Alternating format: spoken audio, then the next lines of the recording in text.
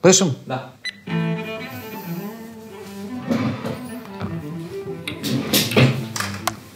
Привіт, я Олег Криштопа, і це історія для дорослих. Але сьогодні можна і навіть треба дивитися дітям.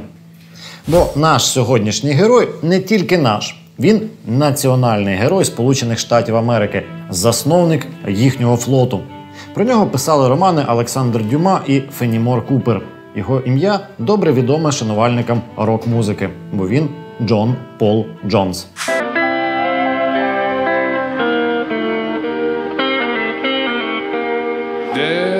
Led Zeppelin я дуже люблю, але їхній клавішник та басист взяв своє псевдо саме в честь нашого героя. Тож сьогодні про справжнього Джона Пола Джонса, точніше Джона Поля Джонса, відомого також під українським ім'ям Івана Павла. Готові слухати? Тоді починаємо. Mm-hmm.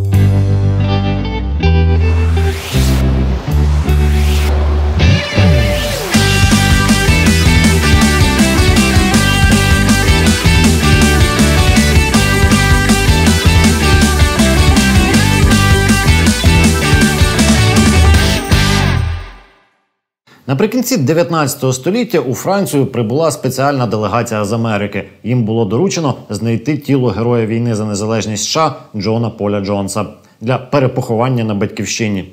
Американці, як бачите, дбають про свою історію. Озброєні ті люди були лише портретами Джонса. Фотографії в його часи ще не існувало.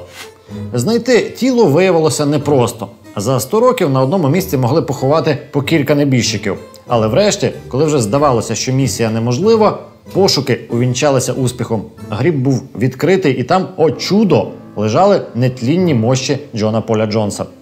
Це навряд варто вважати ознакою святості. Тіло покійника було забальзамоване спиртом. Але навіть якби його не заспиртували ззовні, сам Джон Пол Джонс ще за життя подбав, щоб заспиртуватися зсередини.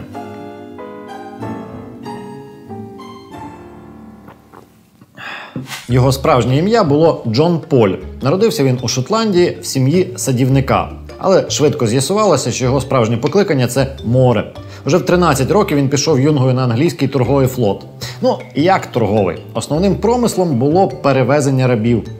Джону виповнилося 19, коли під час однієї з подорожей одночасно загинув капітан і його перший помічник. Тож молодий чоловік взяв командування на себе. Голівудська біографія. І не дарма там через 200 років знімуть кіно про Джона Поля Джонса. Sir. John Paul Jones. А вже у столітті 21-му саме Джонс стане прототипом іншого відомого героя кіно капітана Джека Горобця з піратів Карибського моря. There should be a captain in there somewhere.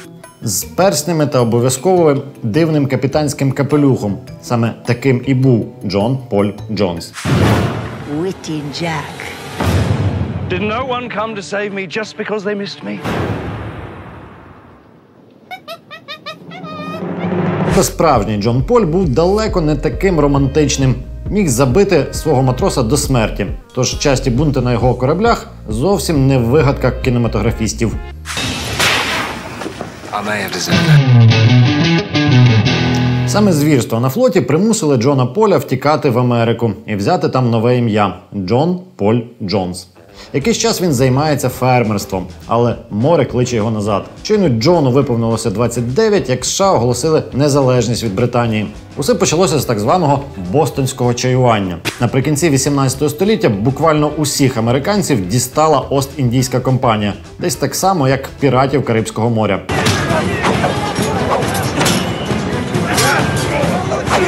І вони повстали. Авантюрист та колишній пірат Джон Пол Джонс був у числі перших. Зголосився, звісно, на флот, але його трохи образили. Записали аж 13-тим з командирів. Та для Джонса головне було отримати корабель. Прославився він численними перемогами над британським флотом, причому переважно саме біля берегів Туманного Альбіону. Якось після обстрілу англійців корабель Джонса був практично знищений. У відповідь на пропозицію здатися, американець відповів: Сер, я ще не почав битися, і організував вдалий абордаж.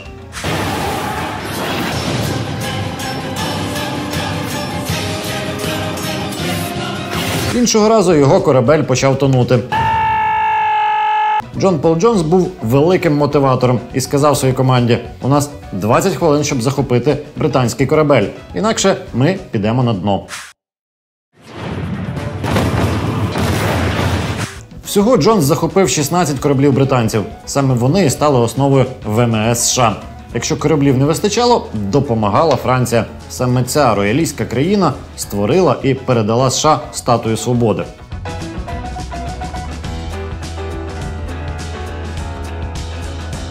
До речі, своя статуя свободи є і у Львові. Саме у Парижі після своїх блискучих перемог заліг на дно Джон Пол Джонс. Певний час він насолоджується славою, навіть заводить романи з сестрою французького короля. Але швидко йому це набридає. І саме тоді Джону приходить пропозиція працевлаштуватися з далекої Росії, яка саме готує війну на морі проти Туреччини. Джон Поль Джонс радо їде у Петербург на зустріч з тамтешньою імператрицею.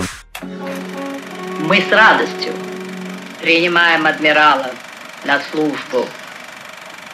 Her Imperial Majesty. Її справжнє ім'я Софія Августа Федеріка Ангальт Цербст Дорнбурзька. Саме так насправді звали російську імператрицю, відому як Катерина II. А от щодо її сексуальної ненаситності, це не міфи. Тож, можливо, від її хтивості постраждав навіть наш герой.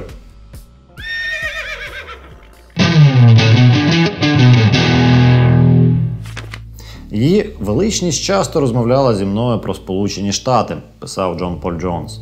Вона впевнена, що американська революція не може не породити інші і не вплинути на кожен уряд. У будь-якому разі, після короткого перебування в Петербурзі, Джонс відправляється на південь. Вісім років тому Росія завершила війну з турками і підписала угоду, за якою Крим залишався незалежним. Але одразу почала анексію півострову. Нову війну за Крим імператриця хотіла почати з новим флотом.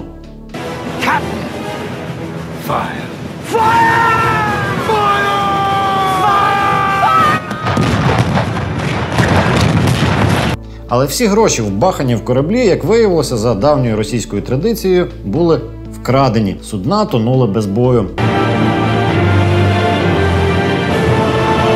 Єдиною боєздатною одиницею Росфлоту виявилися українські козацькі чайки. Однією із яскравих сторінок нашої новітньої історії є історія козацької чайки Пресвята Покрова. Сьогодні цю чайку вже добре знають у багатьох морських портах Європи. Пресвята Покрова є копією бойового вітрильного човна запорізьких козаків 15 століття, збудованою у Львові. Парадокс, звісно. Менше ніж 10 років тому Катерина II, тобто Софія Ангальд Сербська, якось там її ще, справжнє ім'я її нагадаємо, знищила Січ. А тепер їй знову знадобилися українські козаки. І вона, словами свого основного коханця Потьомкіна, зуміла їх звабити. Михайло Головатий та Сидір Білий не лише будують новий флот, а й приводять на службу хтивій цариці тисячі людей. Обіцяють їм як мінімум повернення козацьких вольностей, а як максимум нові землі. І вони погоджуються.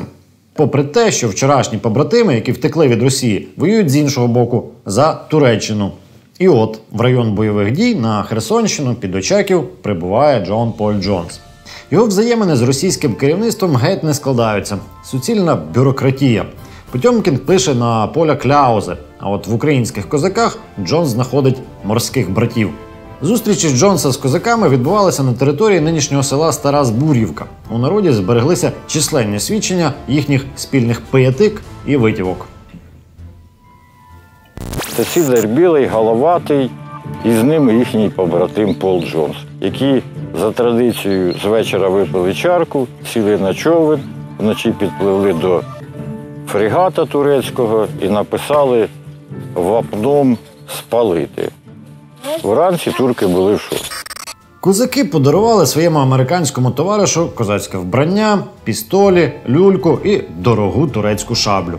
У такому вигляді Джонс провів усю турецьку кампанію, а люльку курив аж до самої смерті у 1792 році. Врешті Джонс вирішив змінити ім'я на Іван Павло. Величезна дружба виникла між козаками і оцим американцем, адміралом.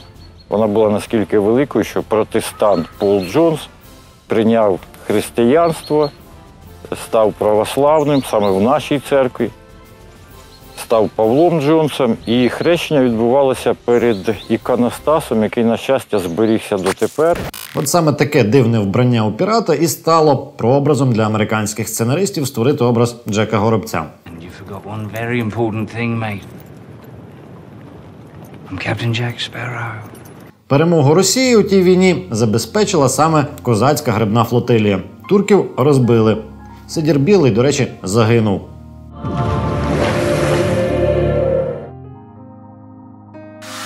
Козаків Катерина II вкотре кинула. Навіщо виконувати обіцянки? Це було абсолютно не в її стилі. А от на захоплених землях з'явилася так звана новоросійська губернія. И знаете, что в э, 1922 году э, часть э, э, земель э, Российской Федерации, которую как раз вы и называете, и, в общем-то, это всегда исторически так исторически называли эти земли Новороссией. Почему? Потому что это по существу был один регион с центром в Новороссийске. Якби Сидір Білий і Джон Поль Джонс це почули, то перевернулися б в домовинах. Недарма зараз США підтримують Україну у війні за незалежність, У тому числі за території, які той же Джон Пол Джонс тоді завойовував. Після тієї війни Іван Павло Джонс повернувся у Париж. Там і помер. Слава наздогнала козака та пірата уже після смерті. У 19 столітті його тіло повернули на батьківщину. Про нього писали романи Купер та Дюма. У 1959-му зняли фільм. Captain John Paul Jones. Після цього басист та клавішник Led Zeppelin взяв собі за псевдо його ім'я.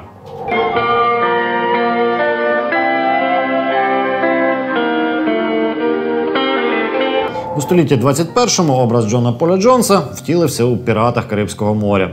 Mr. Gibbs, Captain. You may throw my hat if you like. Aye, aye, Captain.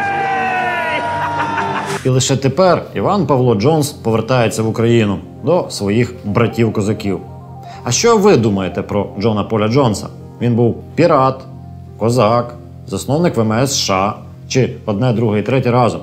Пишіть у коментарях під цим відео, лайкайте його і підписуйтесь, звичайно, на наш канал. Зустрінемось за тиждень.